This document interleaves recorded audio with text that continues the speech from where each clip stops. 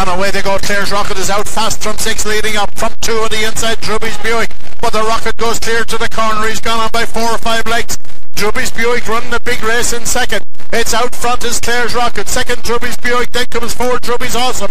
Heading to the third bend and it's Clare's Rocket out by five, six lengths at this stage. Two Droopys Buick second. Third is four Droopys Awesome which is running on. But around the final bend and it's six Clare's Rocket out front and racing on to win it. He's another victory for the brilliant Clare's Rocket. Close for second between four Droopys Awesome and two Droopys Buick in a fantastic time folks of 29.19.